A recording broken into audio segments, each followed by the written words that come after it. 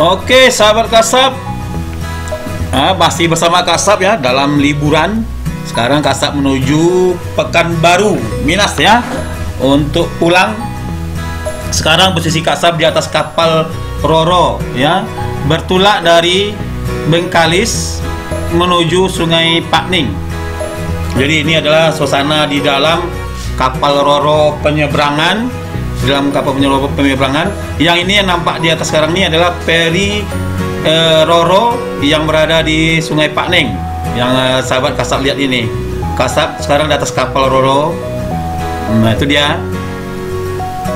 Nanti kita akan tahu bagaimana proses dari eh, kapal feri penyeberangan ini atau Roro ini merapat ke dermaga atau pelabuhan yang ada di Sungai Pakneng.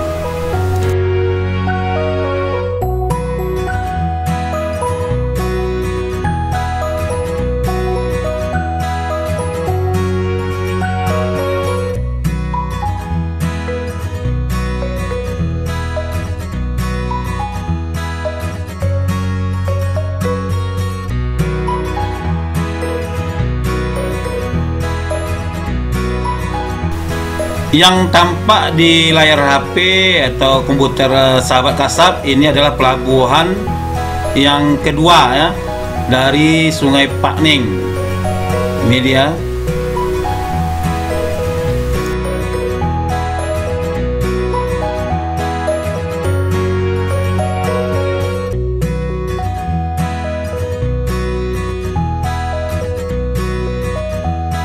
Ini tampak juga uh, kapal tanker ya yang lagi berlabuh agak di tengah lautan.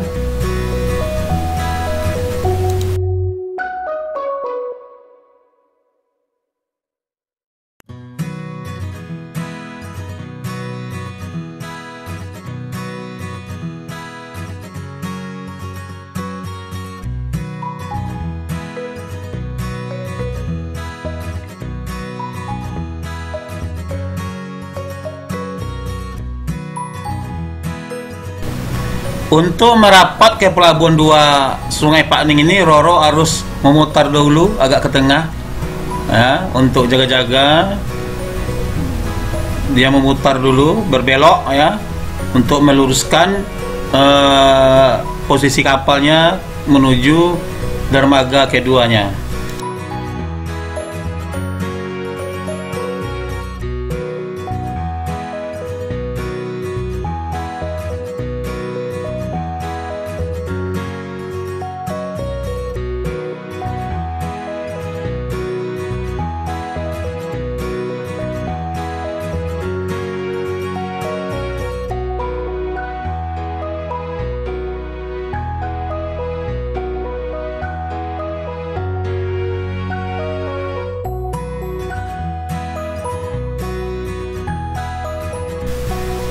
Ya kapal atau roro akan merapat ke dermaga atau pelabuhan Sungai Pakning ini dia prosesinya. Tuh nampak uh, eh, ABK-nya membuka uh, gerbang atau apa namanya jalan jembatan untuk ke roro Sungai Pakningnya ya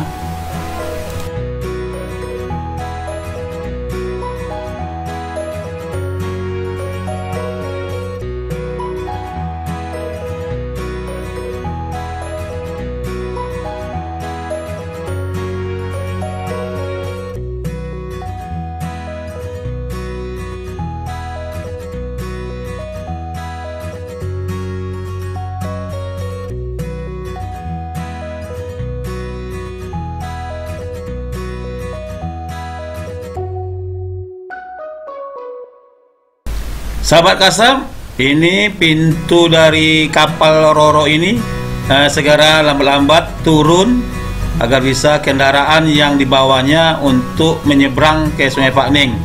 Ya, sangat pelan-pelan sekali eh, pintunya turun. Mungkin ada yang penasaran gimana bentuknya? Nah, seperti inilah kira-kira uh, Nah, sekarang Kasab sudah berada di seberang uh, atau di Sungai Pakning tepatnya karena Kasab lupa shooting untuk men- eh, melintasi jembatan tadi. Ya itulah karena konsentrasi Kasab membawa mobil ya. Nah, inilah bentuk dari eh, suasana dari pelabuhan Sungai Pakning yang sahabat Kasab lihat semua ini. Oke sahabat Kasab jangan lupa like share dan subscribe channel Kasab ya. Sekian dulu sampai jumpa di info-info atau travel vlog Kasab lainnya Wassalamualaikum warahmatullahi wabarakatuh. Jangan lupa like, share, dan subscribe channel Kak Saf ya.